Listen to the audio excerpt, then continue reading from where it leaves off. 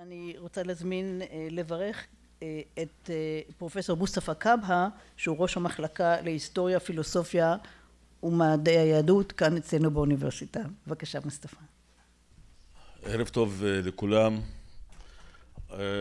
הספר הזה הוא עוד פרק בהקריירה האקדמית המצליחה והעשירה של חברתנו פרופסור חלמיש קריירה אקדמית שאני מלא הערכה כלפיה אני מכיר את אביבה כבר כמעט שלושה עשורים ואנחנו מנהלים דיאלוג מתמיד שהוא דוגמה לדיאלוג שאפשר גם להתווכח גם לחלוק דברים אבל גם לחשוב בצורה הוגנת ישרה דייקנית ושקדנית. זו התכונות של המחקר של אביבה ואני גם מקווה שזו עוד פרק שיבוא במקומו אחריו פרקים חשובים ומוצלחים.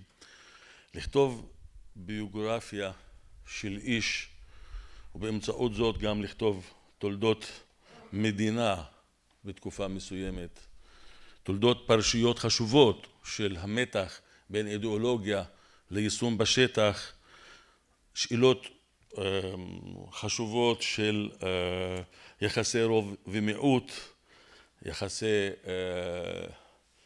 מפלגות בצל דומיננטיות של מפלגה אחת ניסיון של שותפה זוטרת מפלגה של שותף זוטר